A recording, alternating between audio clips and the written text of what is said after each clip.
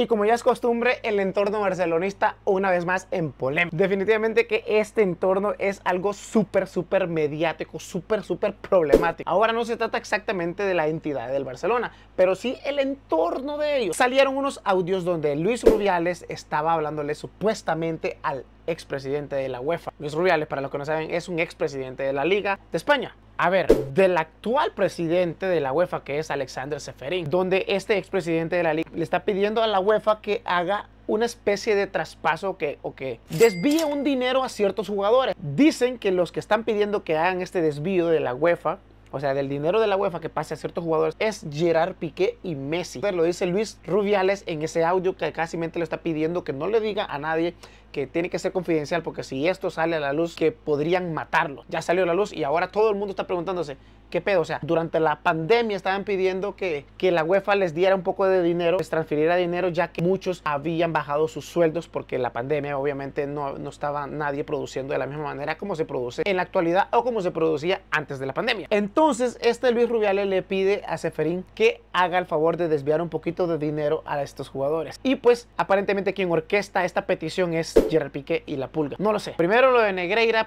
y luego los shows de Xavi y ahora esto de Piqué y Messi pidiendo dinero a la UEFA. Es demasiado show, son demasiados los problemas, son demasiadas las polémicas que están alrededor del barcelonismo. Y eso de Negreira todavía creo, si no me equivoco, está a punto de, decidirse qué va a pasar con ellos. Y incluso puede llegar a un caso de que les quiten copas, puede llegar al, al extremo de que lo hagan descender a la segunda división. Es un puto relajo. Me gustaría saber tu opinión en los comentarios, así que los estaré leyendo. Y sígueme para más videos así. Con todo, let's go.